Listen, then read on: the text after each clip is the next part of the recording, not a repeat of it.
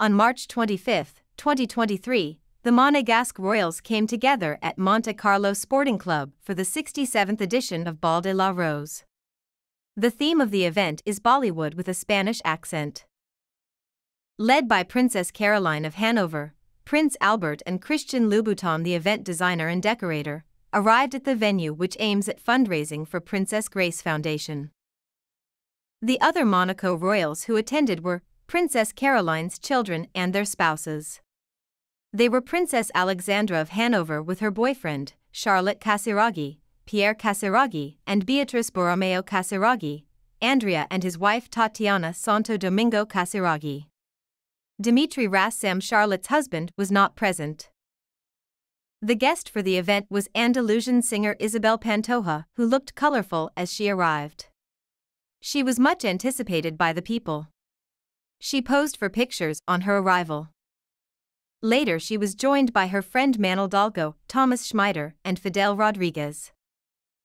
Bal de la Rose is an international charity event that all its profits are channeled to Princess Grace Foundation. It was initiated in 1954 by Prince Albert's mother, Princess Grace of Monaco. The project aims at providing aid to children and women by developing humanitarian and philanthropic projects. For the occasion, Princess Caroline of Hanover wore Chanel Haute Couture sequin ombre dress with Isabel Deckel clutch bag. Tatiana Casiraghi donned a Jenny Packham shiny sequin pipper gown while Charlotte Casiraghi dressed in Chanel feather trimmed gown in white Chanel comete earrings and held a small Chanel flap bag. Beatrice Borromeo looked wonderful in a printed Dior gown. The guests enjoyed the event by finally dining together. Princess Charlene was notably absent in Bal de la Rose, which her sister in law Princess Caroline leads. The 44 year old princess was last seen on Friday in company of his husband at the Monaco Women's Forum Awards night. Both looking happy with Princess Charlene's sparky view.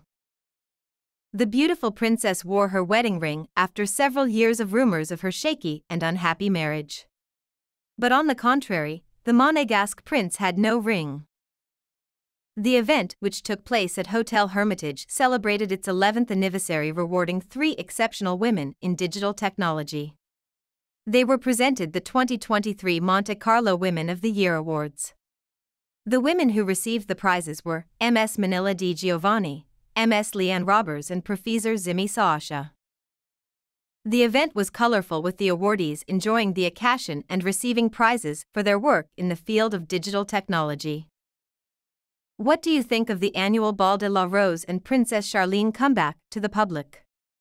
Leave a comment below. If you are new to this channel, like, share and subscribe for more royal news updates. Thanks for watching.